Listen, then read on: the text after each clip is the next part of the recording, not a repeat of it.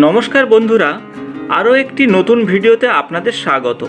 আপনারা দেখছেন Subrata health channel আর আমি আপনাদের সঙ্গে ডক্টর সুব্রত। প্রত্যেকটা বিবাহিত মহিলার ক্ষেত্রে মাতৃত্ব বা প্রেগনেন্সি হলো অত্যন্ত হ্যাপিয়েস্ট একটা ফেজ আর এই সময় তাকে মানসিক এবং শারীরিক দিক থেকে অত্যন্ত ভালো থাকতে হবে। সম্পূর্ণভাবে ট্রেস ফ্রি অবস্থায় থাকতে হবে। পাশাপাশি অবশ্যই healthy and balance diet control করা বা মেনটেন করা অত্যন্ত জরুরি। আর যার ফলেই তার গর্ভস্থ সন্তানের শরীর স্বাস্থ্য ভালো থাকবে। নর্মালি যে খাবার সে খায়, তার থেকে চারশো থেকে পাঁচশো এক্সট্রা ক্যালোরির খাবার প্রত্যেক দিন খাওয়া উচিত। বিশেষত সেকেন্ড অ্যান্ড থার্ড ট্রাইমেস্টারে এই বিশেষ গুরুত্বটা দেওয়া উচিত। কারণ ক্যালোরি যদি কম হয়, তাহলে গর্ভ, গর্ভস্থ সন্তানের বৃদ্ধি সঠিকভাবে হবে না। আর এর ফলে একটা বার্থ কমপ্লিকেশনের রিস্ক কিন্তু চলে আসতে পারে। তাই একজন প্রেগনেন্ট ওম্যানের ক্ষেত্রে অত্যন্ত গুরুত্বপূর্ণ বিষয় হলো তার নিউট্রিশনাল বিষয়টা নিয়ে চিন্তাভাবনা করা, তার পুষ্টিগত বিষয় নিয়ে চিন্তাভাবনা করা।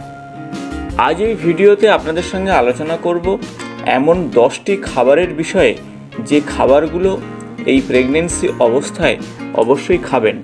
আর যা খেলে আপনাদের শরীর স্বাস্থ্য এবং আপনার সন্তানের শরীর স্বাস্থ্য ভালো থাকবে। প্রথমে যে কথা বলব তা হলো ডেয়ারি প্রোডাক্ট প্রেগনেন্সির সময় অবশ্যই ডেয়ারি প্রোডাক্ট গ্রহণ করা অত্যন্ত দরকার। কারণ এই বিশেষ সময়ে অনেক বেশি প্রোটিনের প্রয়োজন, সেই সাথে ক্যালসিয়াম যা আপনার এবং আপনার ফিটাসের বৃদ্ধিকে সাহায্য করবে। ন্যূনতম প্রত্যহ এক গ্লাস দুধ খাওয়া অত্যন্ত গুরুত্বপূর্ণ। সেই সাথে দই, পনির, ঘি বাচ্চার শরীর স্বাস্থ্যের জন্য অত্যন্ত ভালো। দুধের সঙ্গে কেশর মিশ্রিত করে খেলে শরীরের ক্ষেত্রে অত্যন্ত ভালো ফল আসে। যারা আমিষ ভক্ষণ করে, তাদের ক্ষেত্রে বলব, এই বিশেষ সময়ে দ্বিতীয় যে খাবারের বিষয় তা হলো ডিম।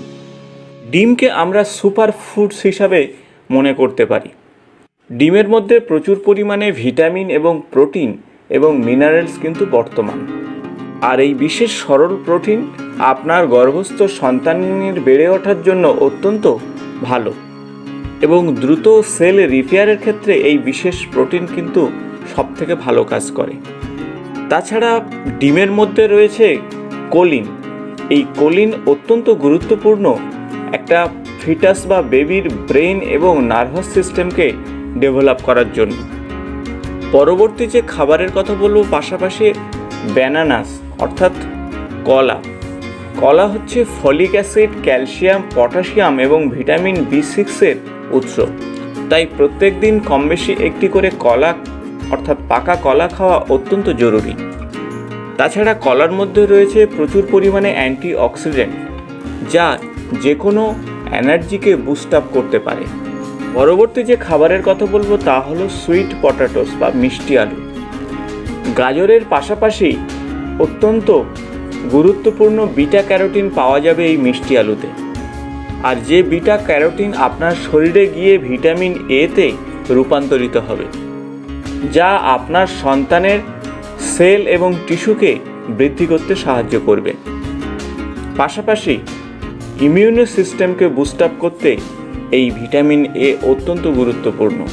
তাছাড়া, ভিশন অর্থাৎ দৃষ্টিশক্তির ইমপ্রুভিংয়ের জন্য ভিটামিন এ দরকার। সুইট পটাটো বা মিষ্টি আলু অত্যন্ত গুরুত্বপূর্ণ একজন মা এবং তার আনবর্ন বেবির জন্য। পরবর্তী যে খাবারের কথা বলব তা হলো লেগিউমস, অর্থাৎ সিম্ম গোত্রীয় যে সমস্ত খাবার, অর্থাৎ সোয়াবিন, মটরশুঁটি, বিন, পিনাটস ইত্যাদি। এর মধ্যে প্রচুর পরিমাণে ফাইবার, প্রোটিন, ফোলেট, ক্যালসিয়াম এবং আয়রন সমৃদ্ধ। ফলে একজন প্রেগনেন্ট ওম্যানের অত্যন্ত প্রয়োজন এই বিশেষ খাবার। কারণ এই বিশেষ সময়ে অধিক পরিমাণ প্রয়োজন ফোলেটের। যে ফোলেট আপনার বেবি এবং আপনার শরীর স্বাস্থ্যকে ভালো রাখবে। যে কোনো রোগ এবং ইনফেকশাস ডিজিজ থেকে রক্ষা করবে এই বিশেষ ফোলেট পরবর্তী যে খাবারের কথা বলব তা হলো নাটস অর্থাৎ বাদাম। বাদামের মধ্যে প্রচুর পরিমাণে ফ্যাট পাবেন এবং সেই সাথে প্রোটিন ফাইবার এবং আদার আদার এসেনশিয়াল নিউট্রিয়েন্টস যা কিনা আপনার সন্তানের শরীর স্বাস্থ্যকে ভালো রাখবে। ওমেগা থ্রি ফ্যাটি অ্যাসিড আপনার সন্তানের ব্রেনকে বুস্ট আপ করবে। পরবর্তী যে খাবারের কথা বলব তা হলো অরেঞ্জ জুস। অরেঞ্জ জুসের মধ্যে প্রচুর পরিমাণে ফোলেট, পটাশিয়াম রয়েছে এবং ভিটামিন সি সমৃদ্ধ, যা আপনার সন্তানের শরীর স্বাস্থ্যকে অত্যন্তভাবে সুরক্ষিত করবে। জন্ম সংক্রান্ত ত্রুটিকে সম্পূর্ণভাবে নিরাময় করবে এই বিশেষ খাদ্য উপাদান।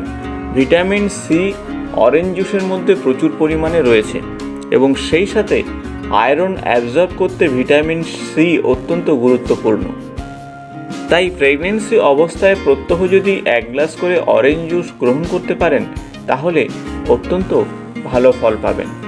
পরবর্তী যে খাবারের কথা বলব তা হলো লিফি ভেজিটেবল অর্থাৎ শাকসবজি।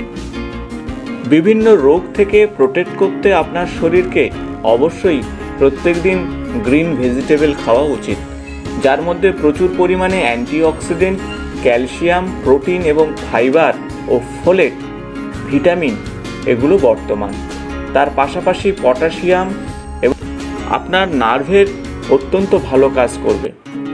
পরবর্তী যে খাবারের কথা বলব তা হলো ওটমিল ওটমিল প্রচুর পরিমাণে কার্বোহাইড্রেট বর্তমান। আর যে কার্বোহাইড্রেট একজন প্রেগনেন্ট ওম্যানের জন্য অত্যন্ত দরকার, কারণ প্রচুর এনার্জি এই সময় দরকার প্রত্যহ। ওটমিলের মধ্যে প্রচুর পরিমাণে কার্বোহাইড্রেট রয়েছে, সেলেনিয়াম, ভিটামিন বি, ফসফরাস এবং ক্যালসিয়াম সমৃদ্ধ। তাই ব্রেকফাস্টে প্রেগনেন্ট ওম্যানদের ওটমিল দিলে অত্যন্ত ভালো ফল পাবেন। এবং শেষ যে খাবারের কথা বলব তা হলো সালমন ফিশ তবে মার্কারি সমৃদ্ধ মাছকে এড়িয়ে চলবেন।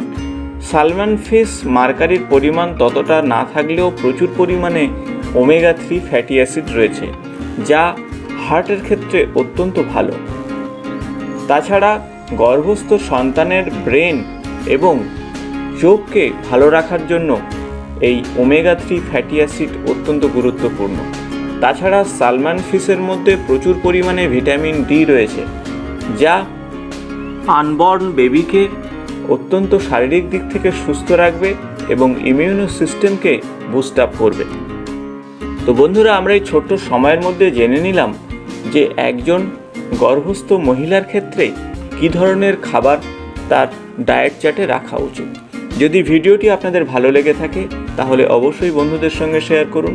নিয়মিত আমার চ্যানেলের আপডেট পেতে চ্যানেলটি সাবস্ক্রাইব করে বেল বটনটি প্রেস করুন। আজ এই পর্যন্ত, নমস্কার।